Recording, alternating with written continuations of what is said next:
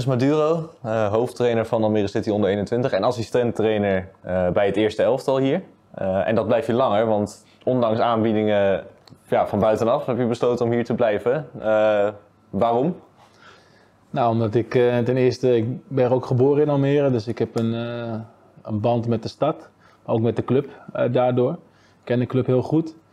Um, en ik heb ook het gevoel dat ik nog niet uitgeleerd hier ben. Um, dus dat zijn uh, al hele grote redenen. Um, dus omgeving praat je dan om. Um, het ontwikkeltraject persoonlijk, uh, dat ik enorm veel kan leren nog. Ik moet ook nog mijn hoogste diploma gaan halen. Dat kan ik ook hier gaan doen.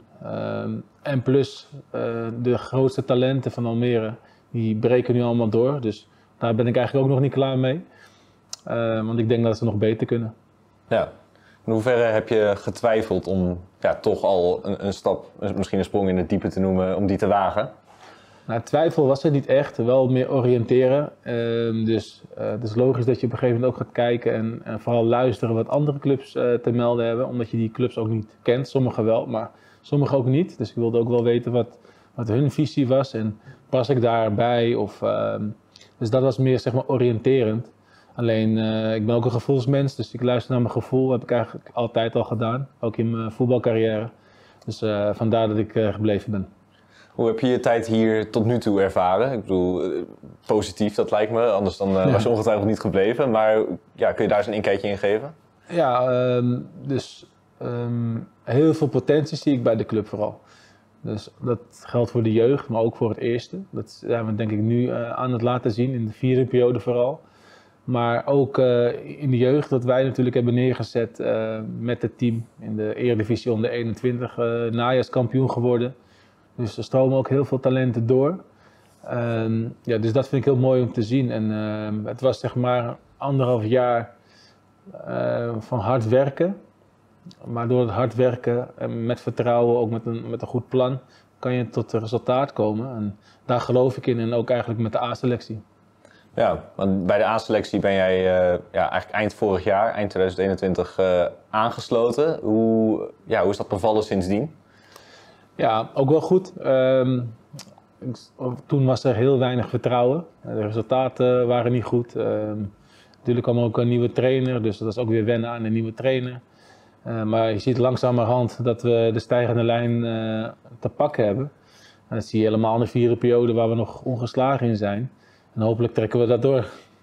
Ja, en nu heb je natuurlijk een, ja, een dubbelrol. Uh, in zekere zin kan ik me voorstellen dat het wel bijzonder is. Want bij de onder 21 zie je spelers strijden om vervolgens bij jou, bij het eerste ja. elftal weer erin te komen. Is dat ja. leuk om te zien?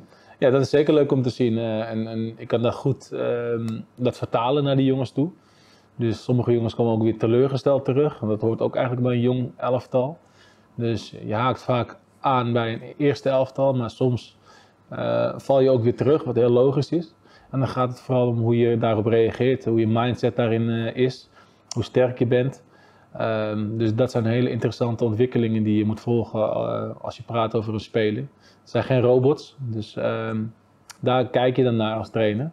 En uiteindelijk probeer je een team te smeden en, en een goed gevoel te kweken. Ja, en dan hoop je dat, je dat, dat ze door blijven ontwikkelen, maar ook dat je als team presteert. Ja, en wat zijn jouw persoonlijke doelen hier in de, de, de komende tijd? Uh, persoonlijke doelen zijn uh, mijn UEFA Pro halen in ieder geval. Uh, dat is mijn, laatste diploma. Ik ben nu in de afrondende fase voor mijn UEFA. Dus daarna moet ik nog één diploma halen. En dan zou ik in principe hoofdtrainer kunnen zijn bij elke club, waar dan ook. Dus ik heb nog wel even een, een, tijdje te gaan, want dat duurt nog waarschijnlijk anderhalf jaar, twee jaar. in die periode wil ik vooral ontwikkelen om te gaan werken weer met, uh, met volwassenen. Dat is toch wat anders dan weer met jong. Uh, en langzamerhand vooral leren ook natuurlijk van Alex Pastoor, die ervaren is als, als hoofdtrainer. Uh, maar ondertussen ook natuurlijk uh, kijken naar andere topclubs in het buitenland misschien. Dat ik eens in de zoveel tijd, misschien twee dagen, bij een Sevilla mag kijken bij de trainingen, hoe daar getraind wordt. Of ik noem maar even wat op. Uh, dus dat is ook, zit, zit ook zeg maar in mijn ontwikkelpakket. dus uh, zo gaat het er een beetje uitzien. Ja, en je noemt hem uh, Alex Pastoor, dat is de, de hoofdtrainer met wie hij bij het eerste elftal werkt. Eh, hoe is het om met hem te werken en is dat leerzaam? Het is heel leerzaam omdat hij ervaren is. Ehm, ja, ik kijk vooral uh, naar hem hoe hij managt. Want uh, een hoofdcoach zijn tegenwoordig is bijna een manager zijn. Je hebt een hele grote staf. Elke dag zit je daarmee. Dus hoe gaat hij de vergaderingen in? Uh, hoe overlegt hij dingen? Hoe bepaalt hij dingen? Uh, dat heeft geen met trainingen eh, leiden te maken, maar echt gewoon buitenaf. En uh, hoe zet hij iedereen in zijn kracht? Dus uh, daar ben ik altijd benieuwd naar. En hij heeft heel, heel veel ervaring daarin. Dus dat is mooi om te zien. Nou, in het begin noemde je het feit dat Almere ook jouw stad is. En ja, ik kan me voorstellen dat het dan ook extra bijzonder is. Kun je dat onder woorden brengen, wat het voor, ja, voor jou betekent om in Almere aan zo'n project te werken? Um, ja, superveel. Ten eerste, mijn familie woont hier. Mijn ouders wonen hier om de hoek. Dus die zijn super blij. mijn vriendin zei ook van, nou, ik heb het gevoel dat je bij Almere moet blijven. Dus dat heeft ook allemaal een rol gespeeld, omdat ze ook Almere kennen. Ehm, maar de mensen, ja, die zijn heel warm. Het is een jonge club, een jonge stad het is super groot, maar ook weer niet. Iedereen kent elkaar een beetje. Dus hoe je het went of keert, ik kom altijd terug in Almere. Dus ik wil ook het beste voor de club en voor de stad. Um, het is niet zo dat ik ergens anders naartoe ga en dat ik nooit meer terugkom. Dus wat de mensen wel weten is als ik, waarom ik hier ben, is om mijn uiterste best te doen.